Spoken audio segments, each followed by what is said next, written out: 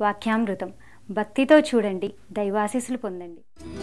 పిత పుత్ర పవిత్రాత్మ నామమున ఆమె శుభవార్త ఛానల్ ద్వారా అమృత్వాన్ని సమర్పించు ఈ ఆధ్యాత్మిక కార్యక్రమాన్ని వీక్షిస్తున్నటువంటి దైవ బిడ్డలందరికీ కూడా హృదయపూర్వకంగా నా యొక్క ఆహ్వానాన్ని అందజేస్తూ ఉన్నాను. ఈనాటి ధ్యానాంశము కృతజ్ఞతా భావాన్ని కలిగి ఉండడం. నేటి సమాజం మనం చూసినట్లయితే మనిషి ఎంతగానో అనేక రంగాలలో ఎదుగుతూ ఉన్నాడు. సాంఘికంగా శాస్త్రీయంగా విద్యాపరంగా ఆరోగ్యపరంగా వైద్యపరంగా అనేక రకాలుగా మనిషి ఎదగడం మనం చూస్తున్నాం ఈనాడు మనిషి ఇంట్లో కూర్చొని ఆకాశంలో జరుగుతున్నటువంటి ప్రతి మార్పును గమనించగలుగుతూ ఉన్నాడు. మనిషి ఒంటి మీద చేయి వేయకుండానే తాను అనేక మందికి ఆపరేషన్లు చేస్తూ ఉన్నాడు. ఎంత మేధస్సు కలిగి ఉన్నటువంటి మనిషి సర్వసాధారణమైనటువంటి నైతిక విలువలను మర్చిపోవడం మనం గమనిస్తూ ఉన్నాం. ఎవరైనా మనకి సహాయం చేస్తే థ్యాంక్స్ అని చెప్తాం. అది మన సంస్కారం. అయితే అంతటితో మనము మర్చిపోతూ ఉంటాం. ఎంతమందిని మనము కృతజ్ఞత కలిగి ఉంటాం అనేటువంటిది మనం ఈనాడు ప్రత్యేక విధంగా ధ్యానించవలసినటువంటి విషయం. Gratitude is the best attitude indeed it is the memory of heart అంటే కృతజ్ఞత భావం అనేటువంటిది హృదయ లోతుల నుండి పుట్టుకొచ్చినటువంటి భావం. ఒకరికి మనకి చేస్తున్నటువంటి సహాయాన్ని అనునిత్యం కూడా గుర్తు చేసుకుంటూ వారికి ఎల్లప్పుడూ కూడా కృతజ్ఞత భావాన్ని కలిగి మనం చూపించడం అనేటువంటిది మన సంస్కారం. అయితే ఈనాటి పట్టణాలలో ప్రత్యేక విధంగా ఇద్దరు అన్యులు దేవునికి ఏ విధంగా తమ యొక్క కృతజ్ఞతా భావాన్ని చూపించారనేటువంటి విషయాన్ని మనం ప్రత్యేక విధంగా ధ్యానించుకుందాం. ఎందుకు మనము కృతజ్ఞత చూపించాలి? ఒక రచయిత తన యొక్క పుస్తకంలో ఈ విధంగా రాస్తూ ఉన్నాడు. తాను ప్రయాణం చేస్తూ ఉన్నప్పుడు తన ముందున్నటువంటి సీట్లో బస్సులో ఒక అందమైనటువంటి అమ్మాయిని చూశాడు. తను అనుకున్నాడంట ఇంత అందాన్ని దేవుడు తనకిచ్చాడు. నాకెందుకు ఇవ్వలేదు?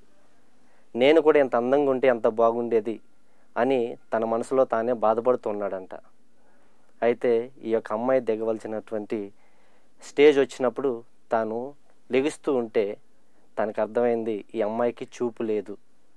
తాను ఒక గుడ్డి అమ్మాయి అని చెప్పేసి ఈ యొక్క రచయిత ఎంతగానో బాధపడి దేవునికి వందనాలు చెప్పాడంట. దేవా నాకు రెండు కళ్ళు ఇచ్చావు నీకు స్తోత్రాలు అని చెప్పి మనసులో ప్రార్థన చేసుకున్నాడంట. అదే రచయిత మళ్ళా తను నడుస్తూ ఉన్నప్పుడు ఒక పిల్లాడు బడికి వెళ్ళను నాకు కొత్త షూ కొను అని చెప్పేసి వాళ్ళ అమ్మతో గారం పెడుతూ ఉన్నాడు. అది చూచినటువంటి యొక్క రచయిత ఆ విషయాన్ని పరీక్షిస్తున్నప్పుడు ఆ తల్లి ఆ మారం చేస్తున్నటువంటి పిల్లాన్ని తమ దగ్గరలో ఉన్నటువంటి ఒక గుడిమెట్ల దగ్గర తీసుకొని వెళ్ళి అక్కడ రెండు కాళ్ళు లేనటువంటి ఒక తోటి వయసు ఉన్నటువంటి అబ్బాయిని చూపించి నాయన దేవుడు నీకు రెండు కాళ్ళు ఇచ్చాడు కానీ ఆ పిల్లాడికి రెండు కాళ్ళు లేవు అని చెప్పేసి చెప్పడంతో అబ్బాయి మౌనంగా తన స్కూల్కి వెళ్తుంటే ఈ రచయిత మళ్ళా దేవునికి వందనాలు చెప్తూ ఉన్నాడంట. దేవా నాకు రెండు కాళ్ళు ఇచ్చావు నీకు వందనాలు అని చెప్పి తాను భగవంతుడు దయచేసినటువంటి ప్రతి మేలును కూడా గుర్తు చేసుకుంటూ తన యొక్క జీవిత గాథను ఒక పుస్తక రూపంలో ఆయన రాస్తున్నారు అవును ప్రియ సహోదరి సహోదరులారా చాలాసార్లు మనం మన యొక్క జీవితంలో భగవంతుడు చేసినటువంటి మేలులను మర్చిపోయి దేవుడు నాకేం చేశాడు అన్నీ నాకు కష్టాలే అని ఎప్పుడు కూడా వాపోతూ ఉంటాం. ఈనాటి పట్టణాలను మనము ధ్యానించినట్లయితే ముందుగా నామాను అనేటువంటి ఒక సైనాధిపతికి ఎలిషా ప్రవక్త ద్వారా దేవుడు ఆయన యొక్క కుష్ఠరోగాన్ని బాగు చేయడం ఆయన కృతజ్ఞతాపూర్వకంగా ఎలిషా ప్రవక్త దగ్గరికి వచ్చి తన యొక్క దేవుణ్ణి ఆరాధించడం మనం చూస్తున్నాం. అయితే ఇక్కడ మనం కొద్దిగా చరిత్రను మనము తెలుసుకుంటే చాలా మంచిది. క్రీస్తు పూర్వము ఐదు వందల ఎనభై రెండో సంవత్సరం నుండి ఐదు వందల నలభై ఒకటో సంవత్సరం వరకు యహోరాము అనేటువంటి ఒక రాజు ఇజ్రాయేల్ ప్రజల్ని పాలిస్తూ ఉండేవాడు.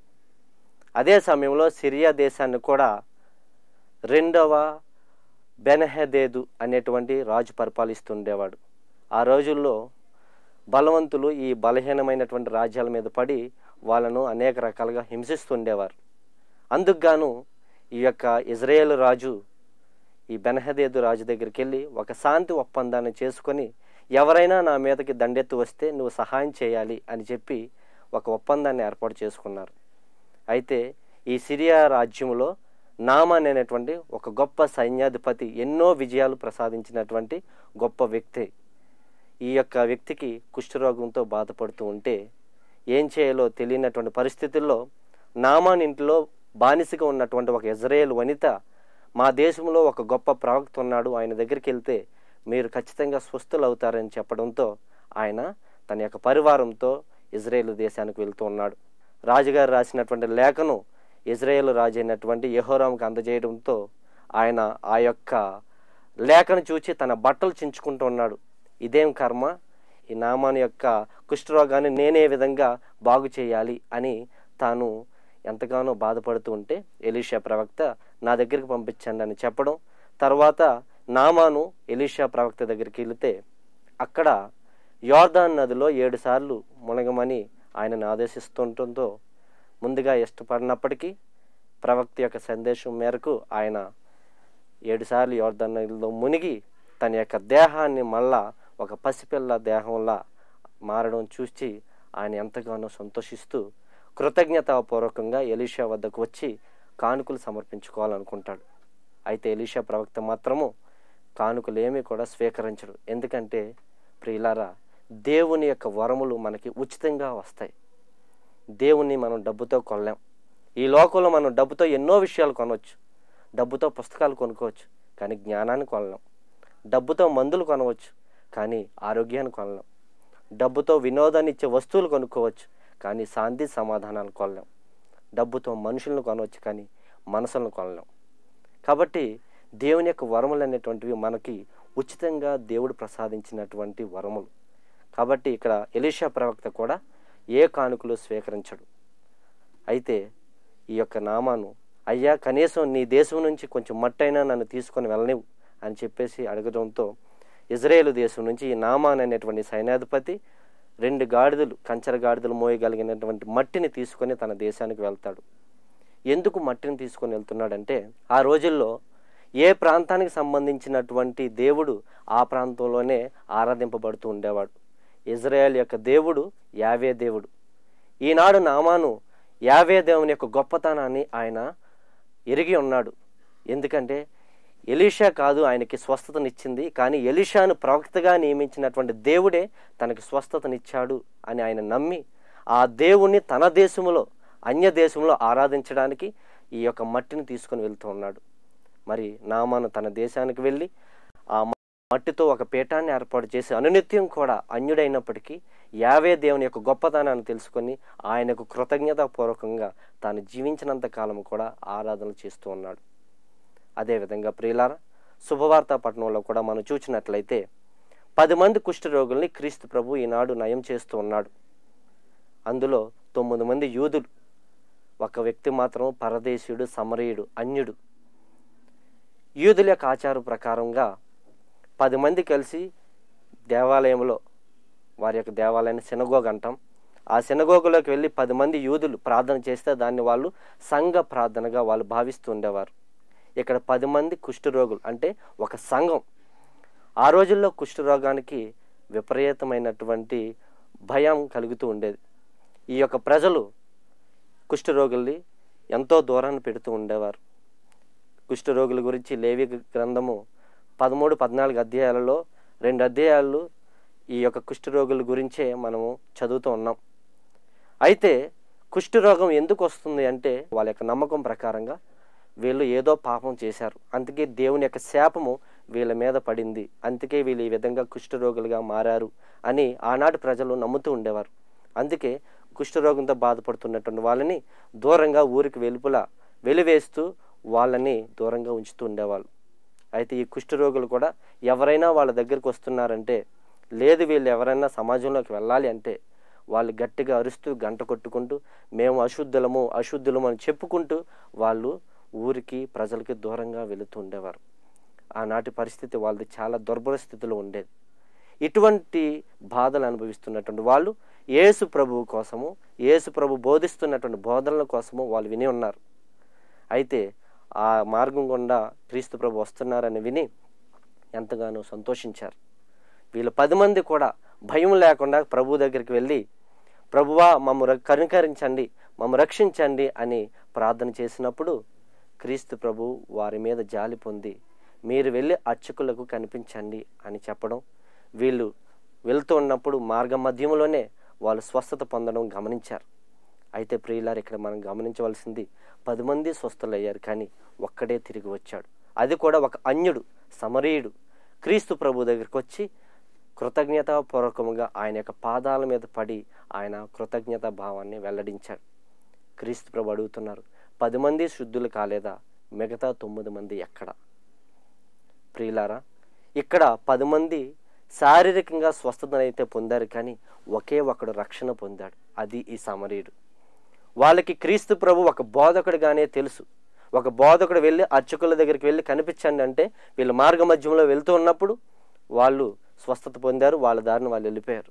కానీ ఒక వ్యక్తి తిరిగి వచ్చి క్రీస్తు ప్రభు యొక్క పాదాల మీద పడి ఆయన కేవలం బోధకుడే కాదు దేవుడు సాక్షాత్తు మానవాలను రక్షించడానికి ఈ లోకానికి దిగి వచ్చినటువంటి మనుష్యావతారం ఎత్తినటువంటి దైవ కుమారుడు అని ఈ యొక్క అన్యుడు తెలుసుకొనగలిగాడు సంపూర్ణ రక్షణ పొందాడు ప్రియులారా.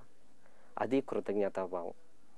మరి ఈనాటి రెండో రాజుల గ్రంథంలో మనం విన్నటువంటి నామాను కథలో కూడా యహోరామ్ అనేటువంటి రాజు ఇజ్రాయేల్ యొక్క రాజు యావే దేవుడి చేత ఎన్నుకోబడినటువంటి రాజు. కానీ ఆయన తన దేశంలో దేవుడి చేత ఎన్నుకోబడ్డ ఒక ప్రవక్త ఉన్నాడని ఆయన తెలుసుకోలేకపోయాడు. దీన్నే స్పిరిచువల్ బ్లైండ్నెస్ అంటాం. ఆధ్యాత్మిక అంధకారం. దేవుడు మనకి ఎన్నో మేలులు చేస్తున్నప్పటికీ కూడా మనం మాత్రము దేవుణ్ణి మనము పసిగట్టలేం. దేవుడు చేస్తున్నటువంటి కార్యాలను మనము గుర్తించలేకపోతున్నాం.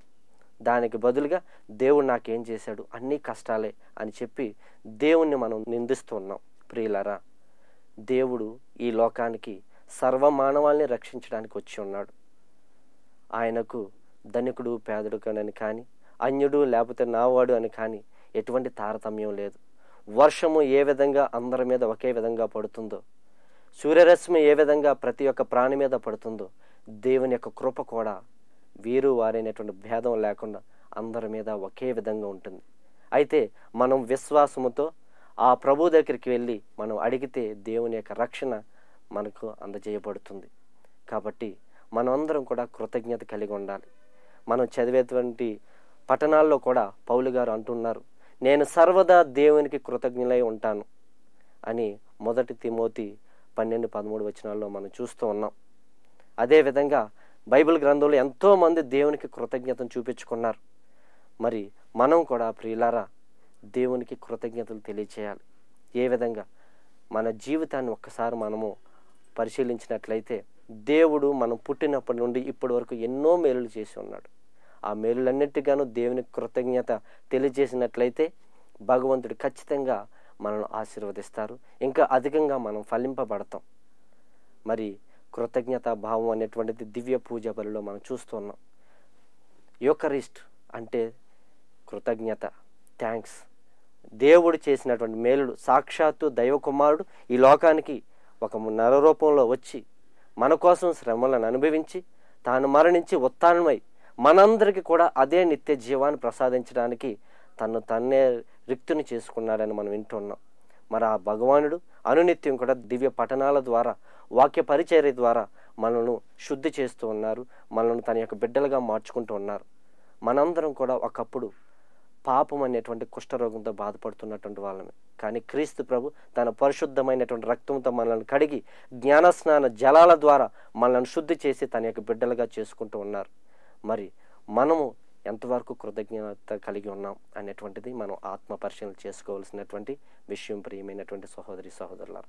కాబట్టి దేవుడు ఇచ్చినటువంటి ఈ యొక్క చిన్న ధ్యానాంశం కృతజ్ఞత కలిగి ఉంటున్నానా లేదా? ప్రతి విషయంలో సర్వదా నా ఆత్మమ ఎల్లవేళలా దేవుని స్థుతింపము అని కీర్తనకాడు పలికినట్టుగా మనము కూడా దేవుడు చేసినటువంటి ప్రతి కార్యానికి కృతజ్ఞత కలిగి ఉందాం. దేవ దేవుడు మనల్ని అందరినీ కూడా అధికంగా ఆశీర్వదిస్తారు.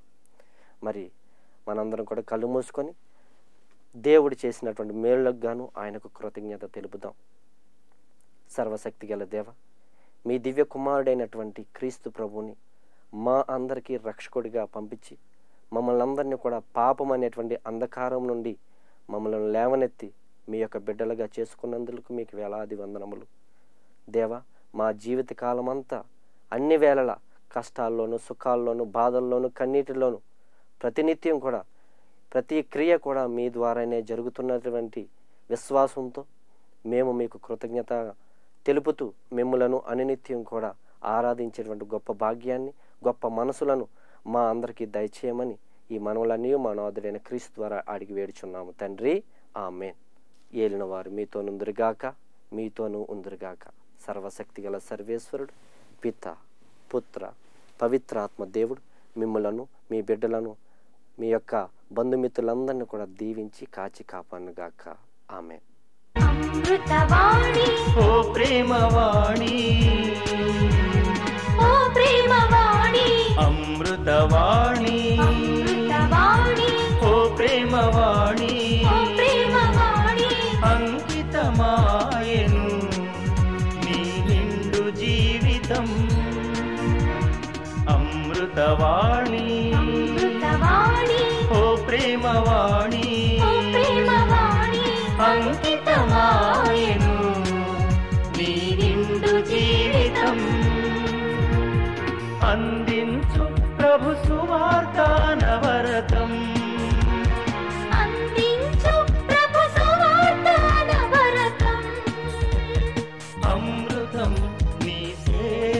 అజరామరం అమృతం నీ సేవ అజరామరం అమృతవాణి. అమృతవాణి. అంకితమా